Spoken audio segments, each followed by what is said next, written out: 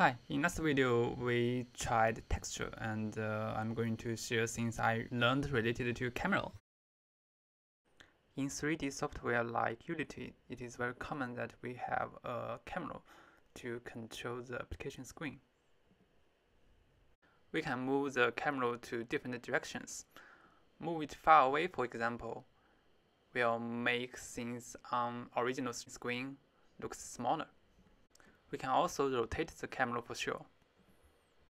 In WebGL, there is no such uh, camera available for us to use, but we can simulate this camera by applying a new transformation matrix to every position. To simulate the effect of moving camera in one direction, we can move all the objects to the opposite direction. The same thing also applies to the rotation. We can rotate all the objects in opposite direction to simulate the effect.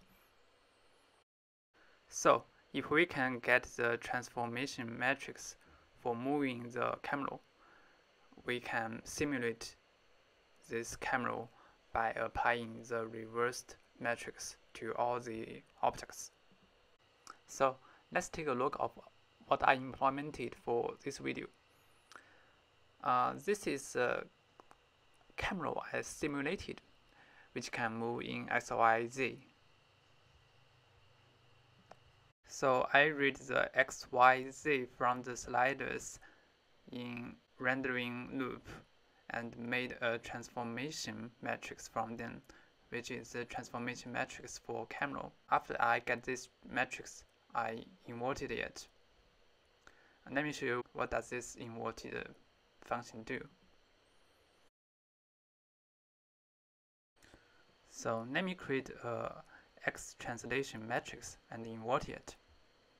By calling the invert, we can get the matrix which translates x in opposite direction. After we got the reverted matrix, we can pass this matrix to vertex shader. And by applying this matrix to every position, we simulated a camera. That's what I learned about how to simulate a camera in WebGL. Thanks for your watching.